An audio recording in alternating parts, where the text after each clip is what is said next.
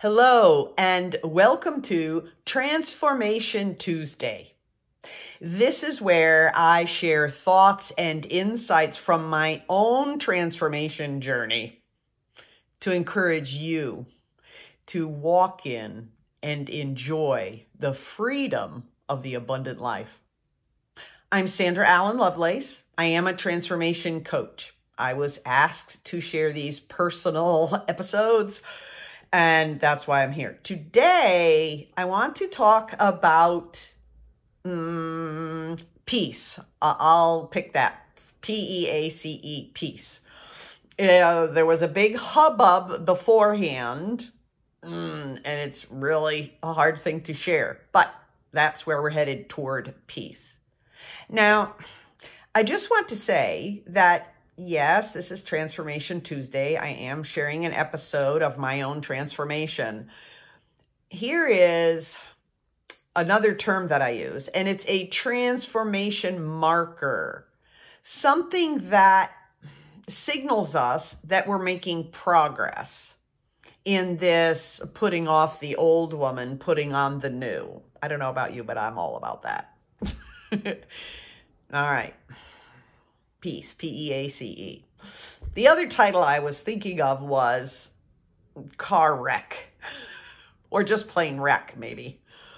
But really, words have power, and it wasn't a wreck at all. Let me explain. I was driving home, barely five miles from where I live. It had gotten dark. I was coming from a side street into a three lane section of the road. And oh, a very common place. I'm very familiar with it. And I turned to the right. And somehow, accidentally, mm, I brushed another car. I heard the noise. I didn't feel any movement. There was no loud crash. And I thought, I wonder what that was. I wonder if that was that little mm, sort of a curb in the middle to keep everybody going this way on the proper side, everybody coming this way on the proper side. I wasn't sure. All of a sudden, I heard a ho car horn tooting. And I thought, oh, something happened. I wonder what it was. Did I hit a car? So I pulled over and I was okay about it. I thought, well, if I did, it couldn't have been too bad or whatever. However, I started pulling out my registration if that was the issue. Again, it was dark and it was three lanes coming both directions. I wasn't hopping out of my car, but I started to pull out my paperwork and this a young woman came up next to my car. So I put my window down and her mom was with her.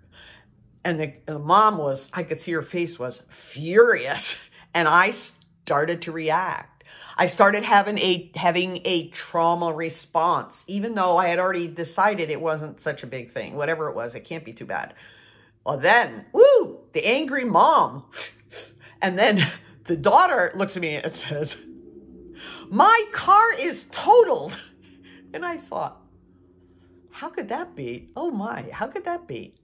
so but I could feel the fluttering. I could feel the nerves. I could feel everything coming in to shut down my brain, going into overload from peace mm, to survival mode. That's what was going on. and I said, okay, well, we need to share information. I had it in my hands by then. Oh, whatever, whatever. So she goes back to her car. I guess, well, she said, she said, I said, totaled? she said, well, maybe not totaled. I said, I'm okay, well, let's exchange information. So they went back to the car. Evidently, her mother decided she didn't need me anymore because she came back up again. We exchanged information and the whole thing unfolded. Well, to get to my piece of this, because there are a lot of markers that happened along here. Number one, when the mom and the daughter went back to the car to get, so she could get her license and, and insurance information, my mind did continue to function. Okay, she overreacted. Sandra, it's not a total. Her car didn't get totaled. This is something you're going to have to work your way through. La-di-da. Um, But I pulled the key out of the ignition, dropped it on the floor. That's what I was taught to do when there's an accident. And then she came back. We exchanged information, called the police, so on and so on. And I was able to sit in the car. I didn't jump out. I didn't run around, which, see, the the former, the old Sandra, would have been so cranked up with energy that I would have been doing that. Get out of the car, rush back, look over her car, make sure it's okay, calm the mom, don't worry, everything will be all right. I did not take on responsibility for them. Yeah, for what the damage my car did. Yes, I, I did have to do that, I know. And the police officer came and I was able to interact with him without being fried. Yes, I felt the anxiety. I didn't have I didn't understand really what happened. I explained to him what I what I had done, where I had come in, and so on. Then he went back to talk to them.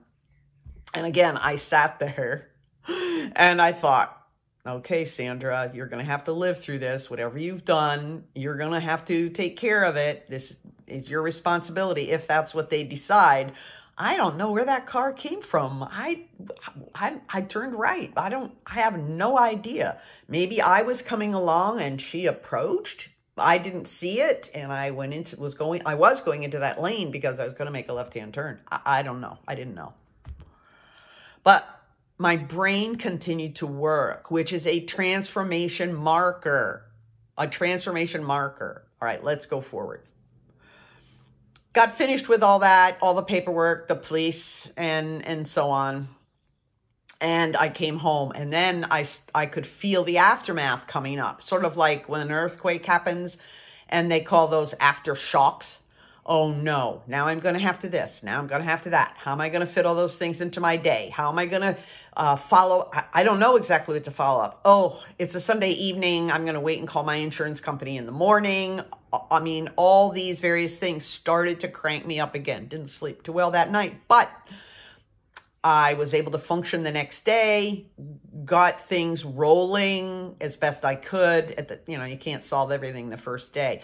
And that those were the kinds of messages I was telling myself. All right, Sandy, you, Sandra, you've done all that you can do right now. I had a, a list of things and other things I guessed would come. and so on. Now get back to your regular responsibilities. And that went in and out for a couple of days. Appointments were set up and this and that and so on and so on. Decisions were made by the insurance company and not in my favor. anyway, I kept speaking to myself, Sandra, this was a fender bender. Consider the lives of, well, my whole life I had a minor accident like that, which wasn't my fault, when I was 16. That was a very long time ago. Um, can't remember anything in between. Things that I might have backed into a lamppost, but not with another vehicle, not a moving violation kind of thing. Anyway, trying to keep a perspective, reminding myself of this, and you'll get through this, and you're going to be okay, and so on so on not losing track of myself, recognizing the anxiety that was trying to push its way up and contradicting it, confronting it with truth all the way through the whole entire process. I think it probably took a week, maybe 10 days, to actually calm down. My car was in the shop, then out of the shop, and now there's some follow-up, which I'm unhappy about. But anyway,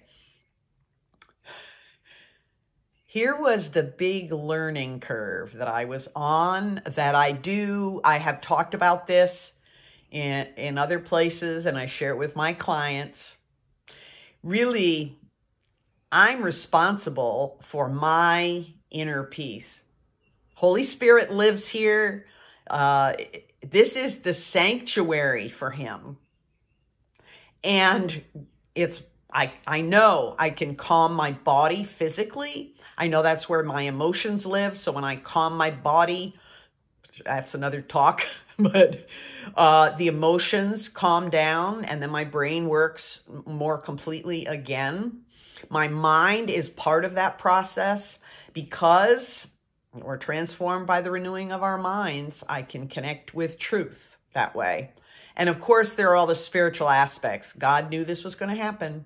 And Yes, I need to be a little calmer about hurrying up to get home. Yes, I need to be alert of the, to this. Yes, these kinds of things. But this is what I pay for insurance for. This is why I take care of this other thing. This is why I'm being a responsible adult. And this not, is not a crazy situation like the, the time I got hit and the person drove off. So all in all, I maintained this inner sanctuary. Yes, I live in a fallen world and I'm not perfect. And so there were some ups and downs. But a week or 10 days later, I was really done with that event. That's a huge, that's a huge phase of transformation for me. And it just goes to show what's possible, what's possible when when when we commit ourselves to God and intentionally we're going to grow. That's that's the mindset. Look, if this was helpful for you and you can relate, it'd be great if you would like it. Also, if you know somebody else that it'll be helpful to, or you have other friends, post it on your Facebook page or share it individually with them. For that matter, you could make a comment. You know that Facebook and YouTube uh, push things, uh, material up higher if people are liking and sharing and commenting. Did you know that? So help a girl out. Thanks very much. Bye-bye.